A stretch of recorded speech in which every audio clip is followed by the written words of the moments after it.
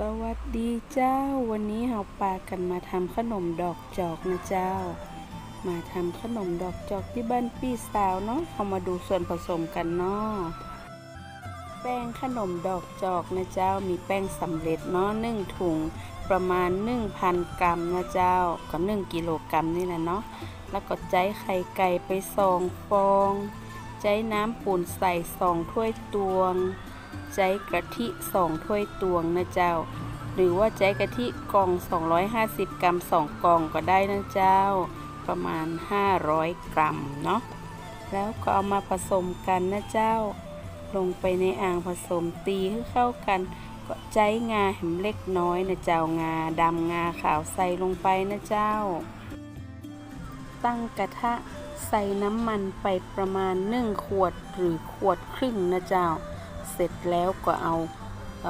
พิมพ์ลงไปแช่ในน้ำมันไว้แล้วเปิดไฟกลางนะเจ้ารอจนกระทั่งไฟร้อนนะเจ้า พิมพ์ร้อนดีแล้วเฮาก็สะบัดน้ำมันออกแล้วก็เอามาจุ่มในแป้งนะเจ้าอย่าจุ่มให้มิดนะเจ้าให้จุ่มประมาณเศษ3ส่วน4ของพิมพ์ เสร็จแล้วก็เอาไปลงจุ่มในน้ำมันนะเจ้า พอแป้งที่ติดอยู่กับพิมพ์เซตตัวดีแล้ว เฮาก็เขย่าเขย่าพิมพ์ เพื่อที่จะให้แป้งร่อนออกจากพิมพ์นะเจ้า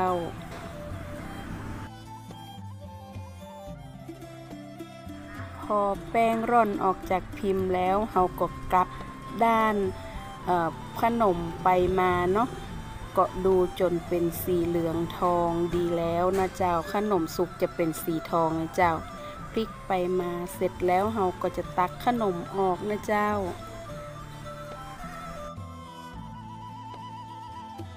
ใช้ซ่อมช้อนขนมขึ้นมาแล้วก็กลิ่งเพื่อที่จะเสด็จน้ำมัน เสร็จแล้วเฮาก็จะเอาไปวางที่จอกหรือก้นแก้วนะจ้าเฮาก็จะก้อยๆ ดัดขนมให้เขาบานลงไปนะเจ้า เพื่อที่จะเห็นความสวยงามของดอกจอกนะเจ้าคือความงามของเขาขึ้นอยู่กับจอกที่เราเอามาวางนี่เองเจ้า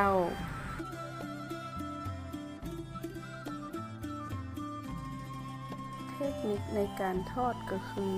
น้ำมันต้องร้อน แต่ไม่ใช่ว่าร้อนจนเกินไปนะเจ้าพือใจไฟกลาง แล้วก็ก่อนจะเอาพิมพ์ไปจุ่มในแป้ง ก็ต้องเอาพิมพ์แช่ไว้ในน้ำมันสักกำหนึ่งก่อนเนาะเพื่อที่ความร้อนจะได้ระอุอยู่ในพิมพ์ แล้วเราเอาพิมพ์ไปจุ่มในแป้งนะเจ้า แป้งก็จะเกาะตัวพิมพ์ขึ้นมา แล้วเราก็จะเอามาจุ่มในน้ำมัน แล้วเราก็จะก้อยๆเขย่าเขย่าจนเปิ้นร่อนออกจากพิมพ์นะเจ้า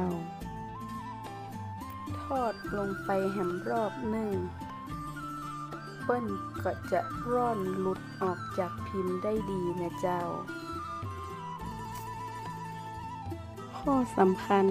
บดีจุ่มพิมพ์ในแป้งจนมิดนะเจ้า ถ้าจุ่มจนมิดแล้วแป้งก็จะบรรลุดออกจากพิมพ์นะเจ้า จะเกาะติดพิมพ์อยู่อย่างอันนะเจ้า พอแผ่นแป้งเหลืองกรอบดีแล้วเราก็จะเอาขึ้นมาวางพักบนก้นแก้วหรือจอกนะเจ้า